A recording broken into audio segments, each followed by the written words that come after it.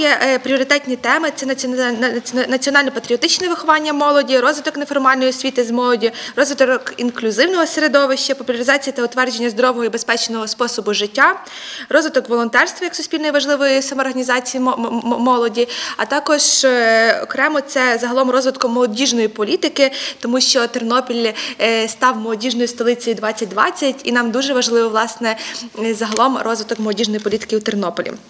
Дуже важливо, що е, ці заходи будуть відбуватися на території Тернопільської міської територіальної громади. Е, ці заходи будуть відбуватися не тільки у місті Тернополі, але ще у, у селах, які доєднані до е, нашої громади. На цей конкурс виділено 300 тисяч гривень.